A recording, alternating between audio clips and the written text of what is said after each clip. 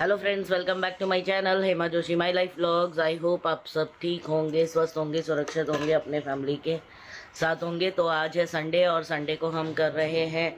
Lunch अभी है to thirty two thirty हो गया, ये मेरा पीछे देखो, छोटा सा किचन है। इधर ही मैंने बैठ के, इधर ही मैंने खड़े रह के किचन मटन बनाया है तो मैं आपको दिखाती हूँ। तो ये देखिए, आज इंडिया आने के बाद अपने ही किचन में मैंने बनाया है मटन और राइस सलाद किधर है, आदित्य?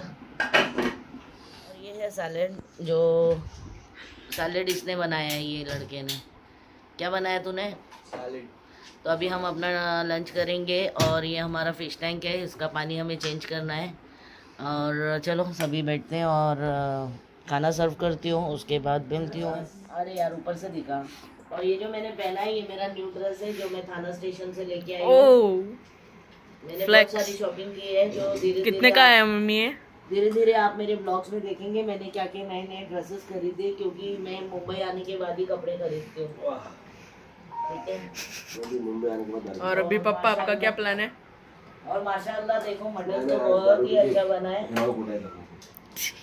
ताज़ा मटन है। इंडिया में इंडिया में ये अच्छा होता है कि जो मटन है वो ताज़ा मिलता है और जो हम सऊदी में लेते हैं वो मटन ऑलरेडी प्री कट होता है तो फिर इतना टेस्ट नहीं आता है बट इंडिया का जो है खाना बरत दे देते बच्चों को बस अभी से ज़्यादा बड़ा मटन होता है वो मटन होता है यानी कि पहले से कट के फैक्ट्री में वो आता है स्टोर्स में और हम लेके आते हैं फिर उसको घर में स्टोर करते हैं। बट इंडिया में जो है ये लड़के को मैंने भेजा था भारत को जो जाके मटन शॉप से ताज़ा मटन लेके आया है।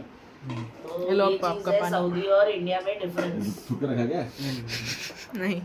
क्या बोतल है ऐसे okay bye guys bye bye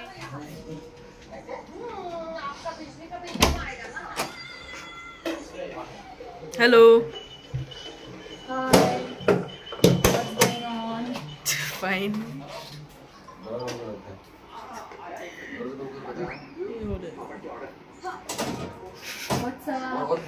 fine और ये मेरी बहन भी आ गई है। आज लंच में मैंने इनवाइट किया था।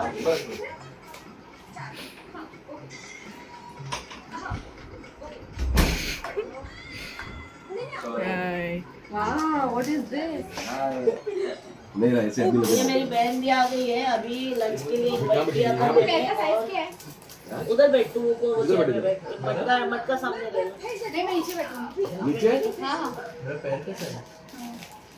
कैसे बैठेगी? स्लीपर का बस बस पास करो। हैशटैग चैरिटी गाइस नहीं वो नीचे बैठेगी बोल रही है। हैशटैग चैरिटी ज़्यादा मत रिकॉर्ड करो। तो मैं हीरा और मेरे हस्बैंड गए थे ये ड्रेस लेने के लिए।